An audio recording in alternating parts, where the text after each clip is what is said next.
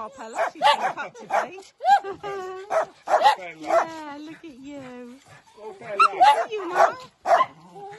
Yeah.